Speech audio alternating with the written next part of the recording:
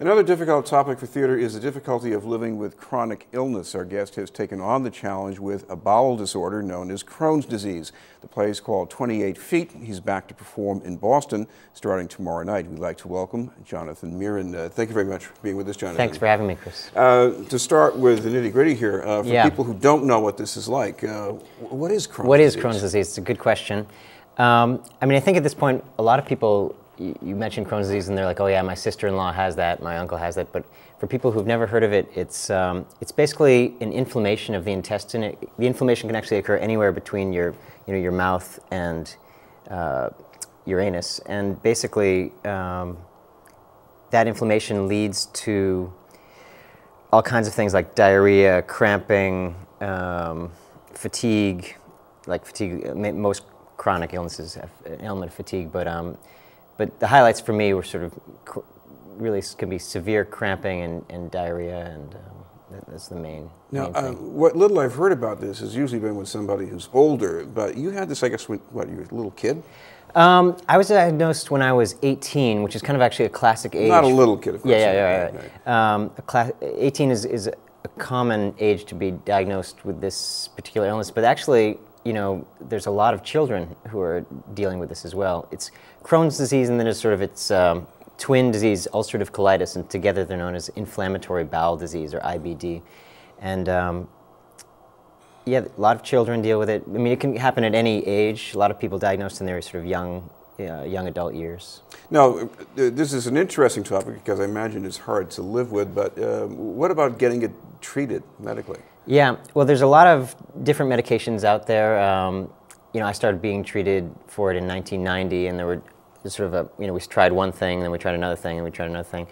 Uh, prednisone for many years was sort of the classic, and I think it still is kind of the classic kind of cure-all. Like when really things are really not working, you know, people can be offered prednisone to, to kind of calm. It's called a flare-up. When you know the, the nature of the disease is that you can be fine for months or even years, and all of a sudden you'll have something. You, they don't know the cause of the disease, and they also don't know. You don't necessarily know the cause of it. It's called a flare-up, where all of a sudden the inflammation comes back, the symptoms come back, and it can be you know totally debilitating. It can last for you know 24 hours to you know a week. Depends. Um, Now, the other thing is, this is not just like having a bad meal and a couple of days later you're back to normal. I mean, uh, tell me about this, you know, seeing the light at the end of the tunnel. Um, well, that's it's a good question. You know, they don't know the cure.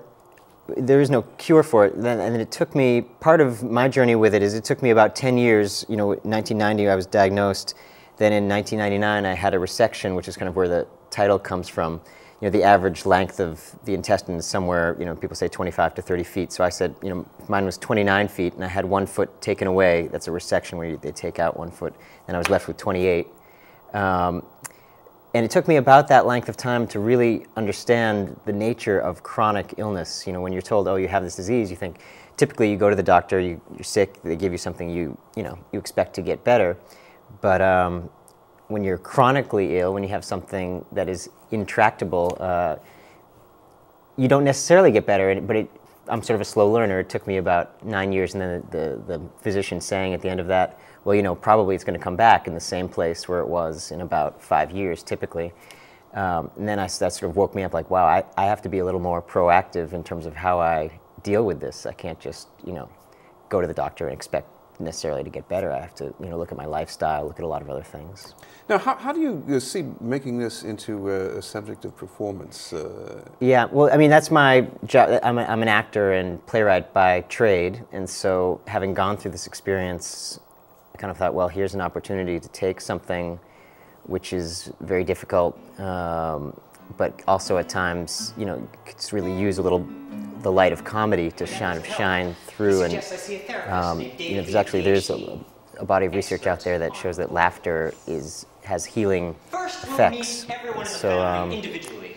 that was part of my thinking behind it. All of them at once. yeah, well, well, maybe we can talk a little bit about what you're doing with this in the play because this is not uh, strictly a monologue. I guess that was an earlier stage of things, but you've got more visual with this, right? Yeah, I tried to go in a more visual direction. Also, my uh, the director, my wife, is a choreographer by training, choreographer, dance, dancer, and, and it's also a, comes from a family of visual artists. And so she sort of thinks in more visual terms. And I was after doing a, a previous one-man show about um, some misadventures in the stock market, which was very had some very long monologues. This is, you know, here we combine puppetry and dance and um, stand-up comedy uh, to sort of make a more a more visual piece. Also, original five original songs, which I play on guitar, sort of comic song, comic slash poignant songs.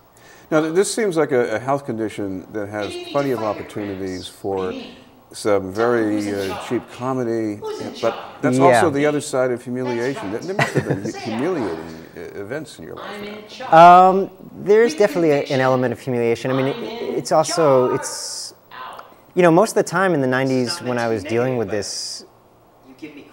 I mean, obviously, my family knew, my close friends knew, but it's just a very, you know, because of the nature of it, it's a very private thing. Like, you know, I would, you know, you just learn to kind of deal with the symptoms as best you can. And my, my strategy at the time was to ignore them as much as possible, um, which is maybe not the best strategy in terms of, you know, getting better. But there, there must have come some moment where you, you, you confronted this more openly. Somebody, uh, your, some friend, some family member must have confronted it more openly with you, and that might have changed things. Um, I mean, doing this show was really the first time that I sort of was like, well, you know, this is part of who I am, and I'm going to try to make some art about it. You know, um, before that, you know, it just it was me, the doctors, and my close family. My, my mother went through um, an intense bout of ulcerative colitis when she was in her early 20s, so she was often able to kind of she kind of had a sense of what I was dealing with. But it's it's you know unless you've had chronic illness or in particular Crohn's, it's it's kind of hard to imagine. You know. Uh, how does how does laughter heal exactly? It's a good question. I mean, I, I know there is some biology behind it that I'm not prepared to explain at the moment, but um, I mean, I think we all know that like the value of a good laugh, you know, a good laugh, not necessarily a cheap laugh, um, about you know, sort of reflecting on your experience, suddenly seeing it, you know, in a, something in a wider perspective, can just really lift your mood, and and the body and the mind are very intimately connected, and that's something else that I've sort of gotten more familiar with, you know, being an actor now for about 15 years, professional actor. So. I should mention you, you've got some performances uh, over the next couple of weeks, starting, uh, I guess this will be tomorrow night? Tomorrow night, Friday night, uh, just in time for a little snowstorm, Friday night, Saturday night, and then the following weekend, again, Friday and Saturday night at Boston Playwrights Theater down on Comm Ave, 949 Comm Ave. And we should mention if people would like some more information, is there some way they can uh, chase that down? Absolutely. Well, there's our website. It's uh, ptco, P like Peter, T like Tom, co.org slash solo or just ptco.org. There you can get information about the show and also buy tickets. There's also a, you know a box office phone number which I can give if that's yeah helpful. by all means. Yeah, so the box office phone number is one eight six six eight one one four one one one. All right, thank you very much for yeah. being with us and Theater Company, Jonathan Mirin.